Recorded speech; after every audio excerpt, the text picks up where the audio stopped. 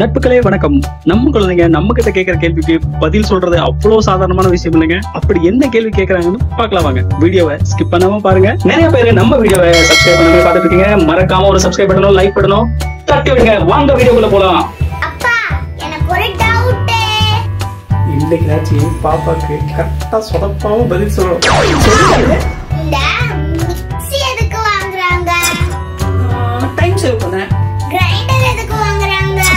அதுவும் order time save பண்ண தான் அப்போ இந்த ஸ்கூட்டி பைக் எல்லாம் எதுக்கு வாங்குறாங்க? ஆபீஸ் போற டைம் சேவ் பண்றதுக்குன்னு. இவ்ளோ சேவ் பண்ணியும் என்ன பண்ணீங்க? ஆமால அப்போ நீங்க